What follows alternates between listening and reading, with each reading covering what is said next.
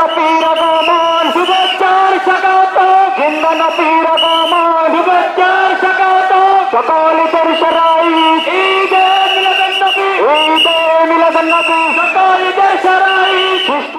নারায়ণগঞ্জে পবিত্র ঈদে মিল্লাদুন্নবী উপলক্ষে বর্ণাঢ্য আয়োজনের মধ্য দিয়ে ঐতিহাসিক জশ্নে জুলুস শোভাযাত্রা আনন্দ র্যালি উদযাপিত হয়েছে।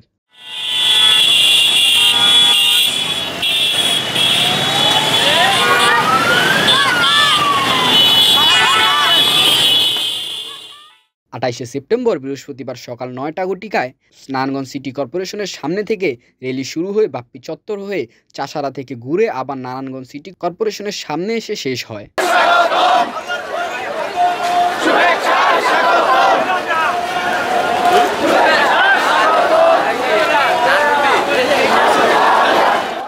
উক্ত অনুষ্ঠানে উপস্থিত ছিলেন ইসলামিক ফ্রন্ট বাংলাদেশের চেয়ারম্যান বাহাদুর শাহ মুজাদ্দিদি আল আবিদি রেলি শেষে মোনাজাতের মাধ্যমে উক্ত অনুষ্ঠানটির সমাপ্ত করা হয়। অসংখ্য অসংখ্য সালাম পেশ করছি।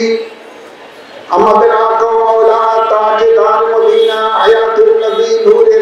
রহমতের নবীর মোবারকে, যাকে আল্লাহ তাবারক ও তাআলা এই 12 রবিউল আউয়াল শরীফে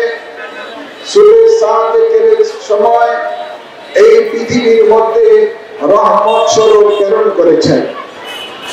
তার কদমে অসংখ্য অসংখ্য দুরুদ ও সালাম পেশ করছি। আল্লাহুম্মা আমিন বলি। সাথে সাথে আরও অসংখ্য দুরুদ সালাম পেশ করছি রসুলের পাকের আওয়াজ কদমের কদম মোবারকে। আল্লাহুম্মা আমিন বলি।